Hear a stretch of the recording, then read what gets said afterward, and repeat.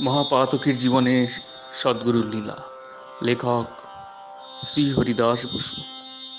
Cooling গ্রামবাসীর দীক্ষা লাভ। Cooling গ্রাম আমার জন্মস্থান। পণ্ডিত মহাশয় আমাকে প্রায়ই বলিতেন, কুলিন গ্রামের উপর আমার কর্তব্য আছে। আমি সামান্য লোক। আমার দ্বারা গ্রামবাসীগণের আর কি উপকার হইবে? আমার সাধ্যই বা কি? আমি দুস্তর ভবসমুদ্রের তরঙ্গ দেখিয়া সন্ত্রাসিত। গোস্বামী মহাশয়ের নিকট দীক্ষা গ্রহণের পর হইতে আমার বিশ্বাস হইয়াছে যে ভগবান আছেন, ধর্ম ও ধার্মিক লোক আছেন, ধর্ম সাধন ব্যতি রেখে মনুষ্যের নিস্তারের আর উপায় নাই। আমি কুলিন গ্রামবাসীর ধর্মজীবন প্রস্তুতের জন্য তাহাদিগকে হরিনাম সংকীর্তনে প্রবৃত্ত করাইবার মানসে এখান হইতে খোল করতাল পাঠাইয়া দিয়া ও মধ্যে মধ্যে তাহাদের নিকট গিয়া উৎসাহ বাক্যে উৎসাহিত করিতাম। কলিনগ্রাম ভক্তি প্রধান স্থান। কাল প্রভাবে সাধন ভজন নষ্ট হওয়ায় গ্রামবাসীগণ কেবল দলাদলি, মালি, মকদ্দমা, পরনিন্দা ও পরছিদ্রানুসন্ধানে ব্যাপৃত ছিল। বহুকাল পরে তাহারা হরিনামের আস্বাদ পাইয়া ও পণ্ডিত মহাশয়ের ভক্তি দেখিয়া তাহাদের পূর্বস্মৃতি জাগরিত হইল। তাহারা দলাদলি, মালি, মকদ্দমা, পরনিন্দা পরিত্যাগ করিয়া প্রত্যহ নাম সংকীর্তনে দিন যাপন করিতে লাগিল। তাহাদের মনের ভাব অনেকটা পরিবর্তিত হইয়া গেল। সংগীত বিদ্যায় দাদা মহাশয়ের কিছু পারদর্শিতা ছিল। তিনি এই নূতন দলের নেতা হইলেন। আমি কুলিন গ্রামবাসীর কল্যাণ কামনায় তাহাদিগকে গোস্বামী মহাশয়ের নিকট দীক্ষিত করিবার অভিপ্রায়ে দাদা মহাশয়কে লিখিলাম, আপনি কুলিন গ্রামবাসীদিগকে দীক্ষার্থে গোস্বামী মহাশয়ের নিকট পাঠাইয়া দিন আমি তাহাদের সমস্ত ব্যয়ভার বহন করিব। দাদা মহাশয় আমার এই পত্র পাইয়া গ্রামবাসীগণের সহিত পরামর্শ করিতে লাগিলেন। বাবু যদুনাথ রায় রামপুরহাট ব্রাহ্ম সমাজের সেক্রেটারি ওই স্থান ব্রাহ্মদিগের একটা প্রধান আড্ডা। যদুবাবু একজন কৃতবিদ্য নিষ্ঠাবান ব্রহ্মপাশক ব্রাহ্মদিগের বাড়াবাড়ি দেখিয়া তাহাদের প্রতিদ্বন্দ্বী দল রামপুরহাটে এক হরিসভা স্থাপন করেন। ব্রাহ্ম সমাজের যেমন উৎসাহ, হরিসভারও তেমনই উৎসাহ।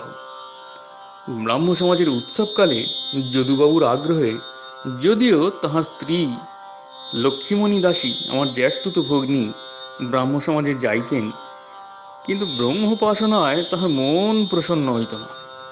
তাহার সেই বাপের বাড়ির জগন্নাথ, রঘুনাথ মদন গোপাল শ্যামসুন্দর, মহাপ্রভু, হরিদাস ঠাকুর প্রভৃতি ভালো লাগিত। তিনি সময়ে সময়ে স্বপ্নাবস্থায় ওই সকল ঠাকুর দর্শন করিতেন এবং কুলিন গ্রাম গিয়া তাহাদের ভোগ দিয়া আসিতেন। ব্রাহ্ম সমাজের প্রতিদ্বন্দ্বী দল তাহাকে বৈষ্ণব ঘরের কন্যা জানিয়া যথেষ্ট মর্যাদা করিতেন। তিনিও তাহাদের হরিসভায় যথেষ্ট অর্থ সাহায্য করিতেন। যদুবাবু উদার প্রকৃতির লোক ছিলেন। তিনি পত্নীর ধর্মবিশ্বাসের উপর হস্তক্ষেপণ করিতেন না। আমি এখন বেশ বুঝিয়াছি, মহাপুরুষের শক্তি ব্যতীত ধর্মলাভের উপায় নাই। এ কারণ গোস্বামী মহাশয়ের নিকট দিদিকে দীক্ষিত করিবার জন্য আমি উৎকণ্ঠিত হইলাম।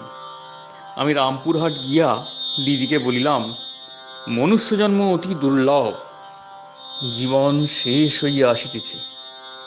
তুমি আর এমন করিয়া কতদিন কাটাইবে? চলো, গোস্বামী মহাশয়ের নিকট গিয়া দীক্ষা লও। তোমার প্রভূত কল্যাণ হইবে। এই কথা শুনিয়া দিদি আনন্দিতা হইলেন। স্বামীর অনুমতি চাওয়ায় যদুবাবু অনুমতি দিলেন। তাহাতে তিনি আমাকে বলিলেন, যখন কলিকাতা যাইবে, তখন আমাকে লইয়া গিয়া দীক্ষা দেওয়াইবে। তেরোশো চার সাল, ফাল্গুন মাস, শিবরাত্রির বন্ধ উপলক্ষে আটই ফাল্গুন শনিবার আমার কলিকাতা যাইবার দিন স্থির হইল। আমি কুলিনগ্রাম ও রামপুরহাটে পত্র লিখিলাম।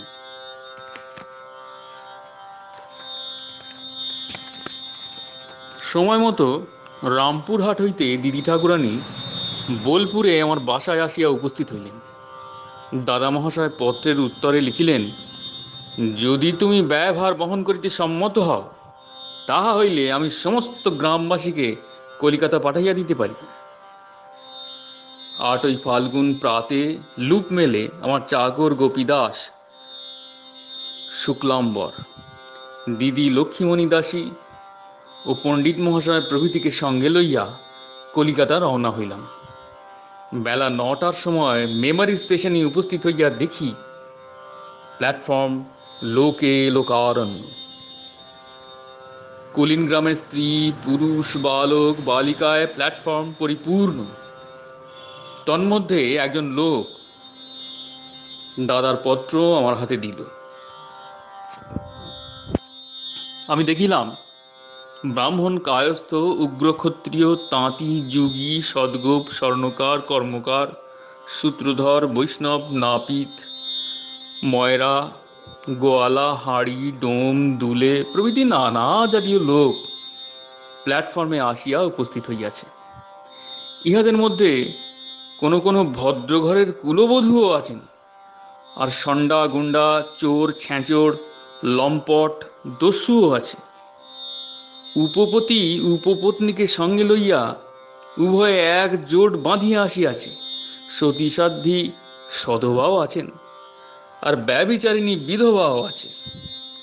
এই সমস্ত দেখিয়া আমার মন অত্যন্ত বিষণ্ণ হইয়া পড়িল। ভয় ভাবনায় আকুল হইয়া পড়িলাম। মনে করিলাম ইহাদিগকে কলিকাতা লইয়া গেলে গোসাই মহাশয় কি বলিবেন? দেশ দেশান্তর হইতে কত সাধু সচ্চরিত্র লোক সাধন লইবার জন্য গোস্বামী মহাশয়ের নিকট উপস্থিত হইয়াছেন। গোস্বামী মহাশয় তাহাদিগকে সাধন না দিয়া প্রত্যাখ্যান করিয়াছেন। এই সকল লোক গোস্বামী মহাশয়ের নিকট লইয়া গেলে নিশ্চয়ই একটা অশান্তি উপস্থিত হইবে, আর আমাকে তিরস্কৃত হইতে হইবে। ইহাদিগকে গোস্বামী মহাশয় কখনোই সাধন দিবেন না। একবার মনে করিলাম, এই দুর্বৃত্তগণকে ফিরিয়া যাইতে বলি। কিন্তু স্টেশনেই শুনিলাম, ইহারা গ্রামের সমস্ত বাধা বিঘ্ন তুচ্ছ করিয়া মেমারি চলিয়া আসিয়াছে। ইহাদের আত্মীয় স্বজনগণ ইহাদিগকে নিবারণ করিয়া রাখিতে পারে নাই। ইহারা প্রতিজ্ঞা করিয়াছে, যদি গোস্বামী মহাশয় সাধন না দেন তাহা হইলে ইহার আর কুলিন গ্রামে মুখ দেখাইবে না। গঙ্গা জলে ঝাঁপ দিয়া ডুবিয়া মরিবে। দুর্বৃত্তগণের অসাধ্য কিছুই নাই আমি নিষেধ করিলেও ইহারা শুনিবে না। এই সমস্ত চিন্তা করিয়া সকলকে সঙ্গে লইয়া চিন্তাকুল চিত্তে কলিকাতা পৌঁছিলাম। এই সময় বাবু শারদাকান্ত বন্দ্যোপাধ্যায় গোস্বামী মহাশয়ের প্রধান পরিচালক ছিলেন। এই সময় কুলিন গ্রামবাসীর নৈতিক অবস্থা ও আগমন বৃত্তান্ত তাহাকে অবগত অবগত করায়। তিনি বলিলেন, গোস্বামী মহাশয়, যাহাকে তাহাকে সাধন দেন না, দূর দূরান্তর হইতে কত সচ্চরিত্র পদস্থ ভদ্রলোক আসিয়া সাধন না পাইয়া ফিরিয়া গিয়াছেন। আর এই সব নষ্ট দুষ্ট লোক যদি সাধন লইতে গিয়া বিতাড়িত হয়, তাহা হইলে সেই সময় একটা মহা অশান্তি উপস্থিত হইবে। গোস্বামী মহাশয়কে সকলের পরিচয় জ্ঞাপন করুন। তদপর তিনি যাহা বলিবেন, সেই মতো করিবেন। এই কথা শুনিয়া আমি পণ্ডিত মহাশয়ের সহিত নিভৃতে পরামর্শ করিতে লাগিলাম। তিনি বলিলেন, যাহারা আসিয়াছে ও যাহাদের যে প্রকৃতি, গোস্বামী মহাশয় কি জানেন না? তাহাকে কোনো কথা বলিবার আবশ্যক নয়। তাহার অজানিত কি আছে? তাহারা আকর্ষণ ব্যতি রেখে ইহারা কি আসিয়াছে? আমার সঙ্গে বহু লোক কলিকাতায় উপস্থিত হইয়াছে। আমার দায়িত্ব গুরুতর। এ কারণ গোস্বামী মহাশয়ের মনোগত ভাব বুঝিবার জন্য আমি আস্তে আস্তে গোস্বামী মহাশয়ের ঘরে গিয়া তাহাকে প্রণাম করিয়া এক পাশে বসিলাম। আজ শিব চতুর্দশীর দিন। গোস্বামী মহাশয়ের ঘর, লোকে লোকারণ্য। গোস্বামী মহাশয়ের নিকট শিব চতুর্দশীর কথা হইতেছে। পশু হন্তা ব্যাদ মহাদেবের কৃপায় কি প্রকারে উদ্ধার হইয়া গেল? গোস্বামী মহাশয় নিজ মুখে তাহা বিবৃত করিলেন। কথা শেষ হইলে আমি সুযোগ বুঝিয়া গোস্বামী মহাশয়কে বলিলাম, দেবাদিদেব মহাদেব কৃপা করিয়া কেবলমাত্র একটি ব্যাধকে উদ্ধার করিয়াছিলেন। আজ শত শত ব্যাধ কুলিনগ্রাম হইতে আসিয়া আপনার পদপ্রান্তে উপস্থিত। এবার আমার ভোলানাথ কি করিবেন? আমার এই কথা শুনিয়া গোস্বামী মহাশয় বলিলেন কল্ল প্রাতে আটটার সময় সকলকে বসাইয়া দিও। এই কথায় আমি পরমানন্দ লাভ করিয়া গোস্বামী মহাশয়কে প্রণাম পূর্বক পণ্ডিত মহাশয়কে ও বাবুকে গোস্বামী মহাশয়ের অনুমতির কথা জ্ঞাপন করায় তাহারা আনন্দিত হইলেন। আমার সমস্ত ভয় ভাবনা দূর হইল।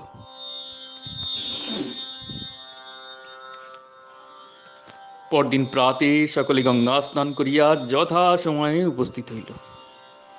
গোস্বামী মহাশয়ের প্রশস্ত ঘরের মধ্যে আর লোক ধরে না। একদিকে স্ত্রীলোকগণ ও অপরদিকে পুরুষদিগের বসিবার স্থান নির্দিষ্ট হইল।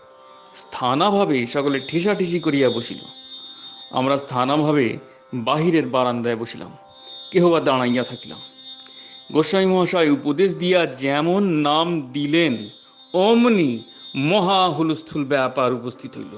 কেহ কাঁদিয়া উঠিল, কেহ মাথা খুঁড়িতে লাগিল, কেহ চিৎকার করিতে লাগিল, কাহার কাহার বিষম প্রাণায়াম উপস্থিত হইল। তাহাতে বোধ হইতে লাগিল ঘরের মধ্যে একটা বিষম ঝড় প্রবাহিত হইতেছে। অধিকাংশ লোক আছাড় পিছাড় করিতে লাগিল। কে কার গায়ে পড়ে আর কে বা কাকে ধরে? কেহ এই আত্মসম্বরণে সমর্থ হইল না। কেহ কেহ গড়াগড়ি যাইতে লাগিল। গোস্বামী মহাশয়, জয় গুরু জয় গুরু বলিয়া সকলকে থামাইতে লাগিলেন। আমরা অবাক হইয়া এই দৃশ্য দেখিতে লাগিলাম। প্রায় অর্ধ ঘণ্টার পর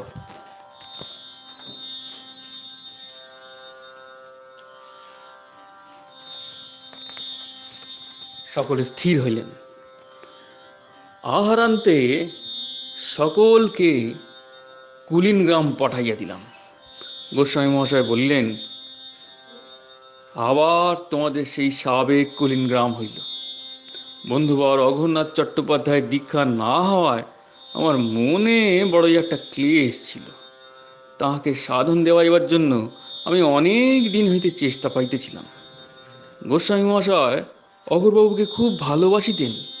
এইবার গোস্বামী মহাশয়কে বলিলাম, আপনি বলিয়াছিলেন অঘরবাবুকে এখন সাধন নিবার সময় উপস্থিত হয় নাই। এই কথা শুনিয়া অঘরবাবু বলিয়াছিলেন, ভালো, কোনো জন্মেও তো সময় উপস্থিত হইবে। গোস্বামী মহাশয়ের কৃপায় তো বঞ্চিত হইব না, ইহাই আমার পক্ষে যথেষ্ট। এই কথা শুনিয়া গোস্বামী মহাশয় বলিলেন অঘরবাবুকে আসতে বলুন। তাহার সাধন হইবে। গোস্বামী মহাশয়ের এই কথা শুনিয়া আমার আনন্দের সীমা থাকিল না। আমি গোস্বামী মহাশয়কে বলিলাম, তবে অগরবাবুকে একখানা চিঠি লিখি? তিনি উত্তর করিলেন হ্যাঁ লিখিতে পারো। আমি তৎক্ষণাৎ চিঠি লিখিতে আরম্ভ করিলাম। চিঠি লিখিতে লিখিতে মনে হইল সুহস্য শীঘ্রং, চিঠি পৌঁছিতে অনেক বিলম্ব হইবে। কখন কোন বাধা উপস্থিত হয় কিছু বলা যায় না। একটা টেলিগ্রাম পাঠানোর কর্তব্য। এই কথা মনে হওয়ায় চিঠি লেখা বন্ধ করিয়া আমি গোস্বামী মহাশয়ের নিকট গিয়া বলিলাম, অঘরবাবুকে একটা টেলিগ্রাম করিলে ভালো হয় না? তিনি উত্তর করিলেন হ্যাঁ টেলিগ্রাম করিতে পারো। এই কথা শুনিয়া আমি কাল বিলম্ব না করিয়া অঘরবাবুর নিকট টেলিগ্রাম পাঠাইলাম। তিনি টেলিগ্রাম পাইবা মাত্র হ্যারিসন রোডের এই বাসায় আসিয়া উপস্থিত হইলেন। পরদিন তাহার দীক্ষার দিন স্থির হইল। দুই তিন দিন পরে তাহার স্ত্রীও দীক্ষা লইবার জন্য আসিয়া পৌঁছিলেন। অগরবাবু স্ত্রী কোলের কন্যাটিকে লইয়া আসিয়াছিলেন। গোস্বামী মহাশয়কে ওই শিশুর কথা বলায় তিনি বলিলেন, শিশুকে কোলে লইয়া বসিতে। অঘরবাবু স্ত্রীর দীক্ষা কার্য শেষ হইল। ইহাতে ওই শিশুরও দীক্ষা হইয়া গেল। একাল পর্যন্ত দাদা মহাশয়ের দীক্ষা হয় নাই। তিনি কুলগুরুর নিকট দীক্ষিত হইয়াছিলেন। কুলগুরু পরিত্যাগ করা কর্তব্য নহে বিবেচনায়, তিনি এ পর্যন্ত গোস্বামী মহাশয়ের নিকট দীক্ষা লইতে সম্মত হন নাই। কুলিন গ্রামবাসী সন্ডাগুন্ডাদের দীক্ষার পর তাহাদের অবস্থা দেখিয়া দাদা মহাশয়ের স্ত্রী ও কন্যাসহ কলিকাতায় আসিয়া গোস্বামী মহাশয়ের নিকট দীক্ষা গ্রহণ করিলেন। আমার আত্মীয় স্বজন, জ্ঞাতি, বন্ধু, দাস, দাসী কেহই গোস্বামী মহাশয়ের কৃপায় বঞ্চিত হইলেন না। গোস্বামী মহাশয় আমাকে বলিলেন, তুমি জগন্নাথ দেবের পট্ট ডরি দিতেছ, সেই জন্য জগন্নাথ দেব কৃপা করিয়া তোমার আত্মীয় স্বজন সকলকে আত্মসাৎ করিলেন। যদুবাবুর ন্যায় ব্রাহ্মের নিকট হইতে তোমার ভগ্নীকে কাড়িয়া আনিলেন। আমি বলিলাম, আপনার কৃপাই আমার যথা সর্বস্ব। কুলিন গ্রামের অনেক সন্ডা গুন্ডা চোর, ছ্যাঁচোর, লম্পট ও ব্যভিচারী লোকে গোস্বামী মহাশয়ের নিকট দীক্ষা পাইল। অথচ দূর দূরান্তর হইতে সমাগত, সাধু, সচ্চরিত্র অনেক লোক আসিয়া গোস্বামী মহাশয়ের কৃপায় বঞ্চিত হইয়াছিল। ইহাতে আশ্চর্য হইবার কিছু নাই। অনন্তকালের মধ্যে আমরা ইহ জীবনের কয়েক দিনের বাহ্যিক আচরণ দেখিয়া লোকের বিচার করিয়া থাকি। কাহাকেও সাধু বলি, কাহাকেও অসাধু বলি। মহাপুরুষেরা আত্মার অবস্থা দেখেন। যে ব্যক্তি নিতান্ত দুরাচার বলিয়া আমার নিকট প্রতীয়মান হইতেছে, হয়তো সেই লোকটাই একজন মহাত্মা। কেবল কর্মফল ভোগ করিবার জন্য দুরবস্থায় কাল যাপন করিতেছে। আর যাহাকে সাধু বলিয়া বিবেচনা করিতেছি, হয়তো সেই মহাপাতকী অভিমান অহংকারে স্ফীত হইয়া লোকের নিকট সাধু বলিয়া পরিচিত হইবার জন্য নিজেকে আবরণ দিয়া চলিতেছে। মহাপুরুষের নিকট এসব কিছুই গোপন থাকিবার উপায় নাই। তাহারা মানুষের আত্মার অবস্থা দেখিয়া ভালো মন্দের বিচার করেন।